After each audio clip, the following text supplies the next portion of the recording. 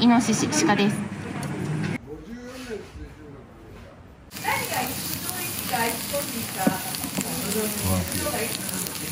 イメージ的にちょっと臭みがあったりとかするのかなっていうのそれは全然ないですね。あそうですないですね。えー、うめえ。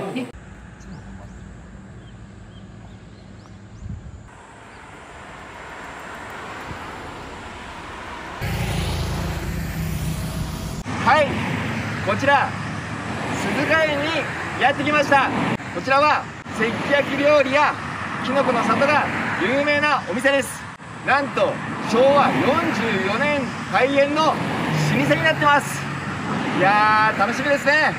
シブル4分8秒脂肪をテーマにした YouTube です。それでは行ってみましょう。ご覧ください。秩父空を見上げいつでも街を思うよ素直になれるよふるさと秩父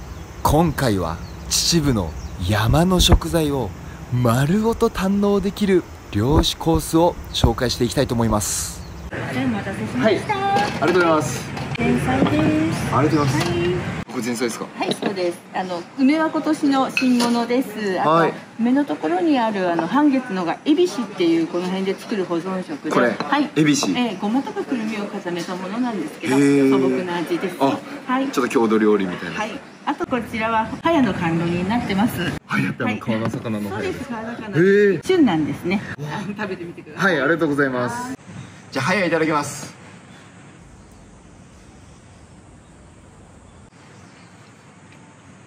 うまいね。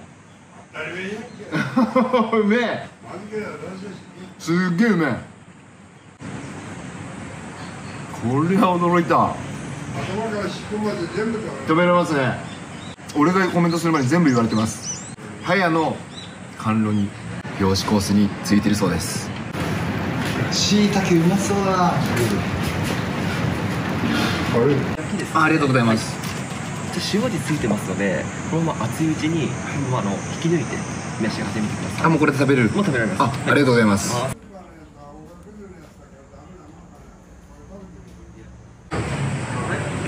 っていうか香りがもうすごいしいたけの。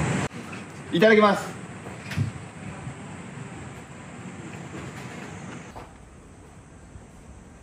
全然違いますねしいたけそのものの素材の味がすんごい最大限に表現されてるって感じですね。これめっちゃうまい。うわー来ました。こちらメインの石器焼き料理の具材になります。うーんうまそう。肉ですね。えっとこちらがクマ。こクマはい、イノシシ鹿です。石器焼き煙も出にくく焦げにくいなんといっても自然の石を使うことによって素材本来の美味しさが味わえるのが最大の特徴なんじゃないでしょうかイノシシからです。はいありがとうございます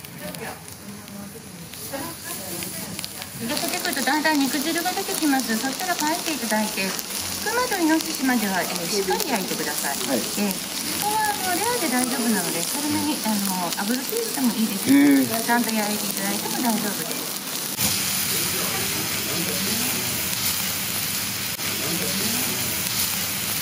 じゃあ焼けたのでこちらいいですか？ありがとうございますこちら餃子ニンニクの塩漬けになってます。免疫力を高めてくれるものなので花粉症の方とかにはあのすごくいいのでおすすめしてます。ニンニクの味がするんですけど口臭には残らないです。ニンニクとはまた別のものになりますので。へえイノシシですよねイノシシです。いただきます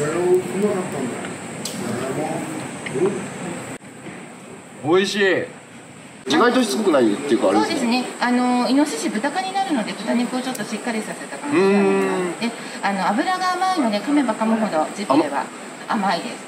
確かにあるところこう甘みが甘みがきます。きますねはい。うえうめえで、昔はあの鹿としても提供してたんですけど牛の問題があってから生で食べるのをちょっと禁じられてるので、はい。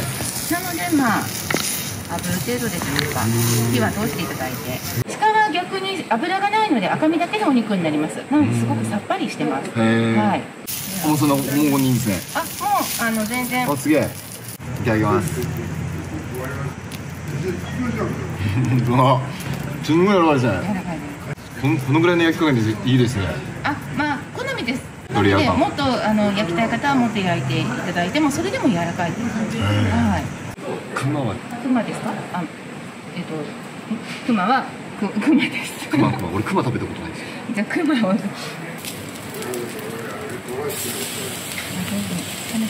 ですよねちょっと出して僕の本当に。じゃあこれ熊です。はい。熊ですか？はい。ありがとうございます。熊って食べたことある？ない。ないっしょあります？そりゃそうです。あんまり食べる機会が機会がないですよね。食べれるところもないですしね。いただきます。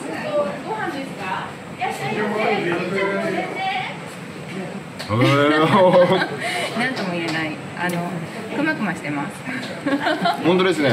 くまくましてます。どちらかっていうと豚よりは牛っぽいですかね。そうですね。な感じはしますけど。うん。イメージ的にちょっと臭みがあったりとかするのかなっていう感じがするんですけど、はい。それは全然ないですね。あそうですないですないです。美味しい美味しい。すみませんこちら自家製の味噌タレになりますこちらちょっと軽めでいいのでつけて焼いてみてください。あわかりました、い。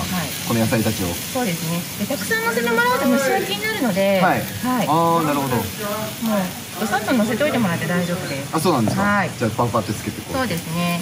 わかりました。すみません。じゃあこんな感じでお願いします。ありがとうございます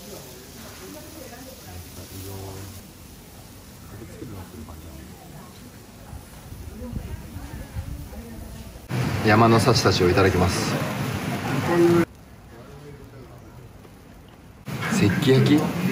で食べるのってすごい新鮮だね。すごい楽しい。またなんかちょっと味が網とかで炭火とかで焼くのとちょっと違う気がする。うまい。うーん。天ぷらもクオリティ高えな。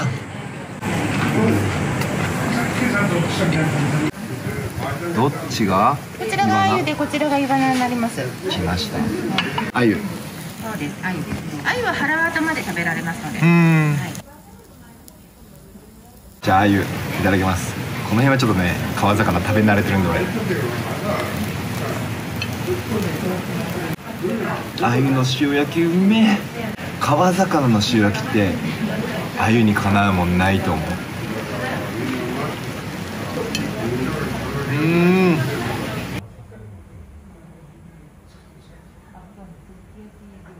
じゃあイワナいただきます。これよく釣ってます。うまいな。人に焼いてもらうとこんなにも違うんだね。いやー。食べた食べた。この大自然の中で食べる石器焼き料理ぜひ皆さんも食べてみてください。すすめです。ごちそうさまでした。はいいかがでしたでしょうか？ちなみにこちらはキャンプ場もあるので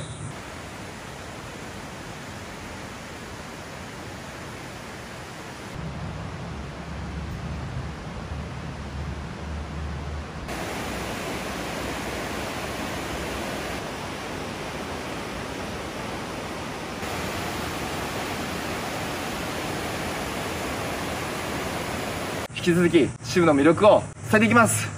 なので YouTube、Twitter、Instagram の登録とグッドボタンをよろしくお願いします。それではシブル深夜目指せ看護弟子次回も頑張んね。またね。in 鈴鹿園。